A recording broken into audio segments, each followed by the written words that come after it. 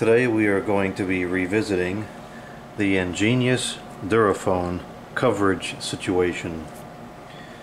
One of the things I really enjoy about operating this channel is not only the opportunity to use all these different types of equipment, but to learn about it and be able to have conversations with people that understand it much better than I do. I posted a video on this matter a couple weeks ago and I asked a couple questions in that video and I was hoping that somebody who knows this type of material would come along and provide some input and that happened very quickly. So now I understand the type of cable we're using, the connectors that are on it, and why this doesn't work the way I thought it would. So this is a piece of the larger spool of cable that I showed in the last video. Hopefully I'm not inverting it. This is a type N connector and this is a type TNC connector. So that's what we need to connect the antenna that it came with. And this cable is called LMR cable. This is LMR 400 cable. This is LMR 195. They look pretty much the same from the outside, but they have different uh, shielding properties, I guess. So we have two antennas here that, that the phone can take. This is the smaller one. This antenna has a gain of 2 dBi and this antenna, which is much larger, has a gain of 5 dBi. So I tested it with this antenna connected. This antenna connects directly to the base. And I walked around the blocks and observed how it performed. Then I connected this antenna and did the same thing. And I expected it to have a huge difference in performance. And I noticed an increase, but it just wasn't all that much. So the reason why it wasn't all that much is because of the attenuation of the cable. Attenuation describing in decibels the noise or signal loss due to the cable not being 100% efficient. Now, if you want to get really scientific about this and wreck the equipment in the process, this is not 100% uh, consistent and accurate because the attenuation of the cable we're going to discuss in decibels, dB, and this, uh, the specs provided by in, uh, EnGenius for the antenna gain is in dBi. From what I understand, dBi is more of a theoretical measurement for a an omnidirectional antenna, whereas dB is based off of a specific type of antenna or transmission. That's my understanding of it. That could be in, inaccurate. Some of this stuff on here might not be 100% accurate. I'm describing it the best I can understand it. So, the cable that I had which was this this cable where this came from. That cable I measured it approximately to be about 56 feet. So according to this a 100 foot segment of LMR 400 cable will introduce about 3.6 decibels of noise. So you take 3.6 multiply it by 0.56 and that comes out to be about 2 so when we determine the decibel gain or dBi gain of this antenna, we have to subtract the loss from the cable. So you take the 5, which this antenna is claimed to be, subtract the 2 for the noise, and you end up with only 3. So during my tests, we were getting 2 dBi of gain because this was connected directly to the base, no attenuation, this is 2 dBi, and this was really only giving me 3 in practice.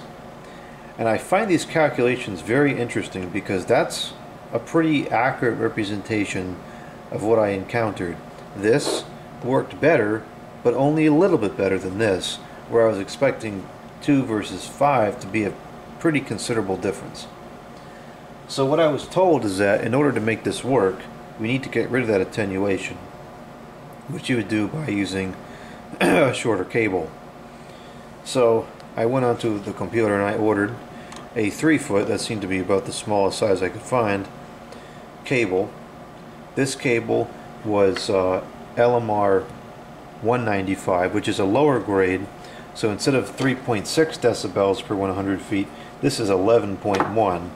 But since it's only 3 feet, it's still a very small number. So if we take the uh, 11.1 and multiply it by 0.03, we get 0.333 uh, decibels of noise. So pretty nominal, not even, you know, not even 0.5, very low number. So uh, in this case, we would have the 5 decibel dBi antenna minus 0.3, which would make this antenna now 4.7 dBi. So now we have a pretty significant increase. So I went to hook this up and test it, and uh, well, this cable is just it's the wrong one. I ordered a TNC to N and I got an N to N. Uh, so I was sent the wrong cable, and it's also wrong because these don't screw onto this base. The threading is uh, inverted. And now I don't know which one is standard. I don't know if this is standard or this is standard.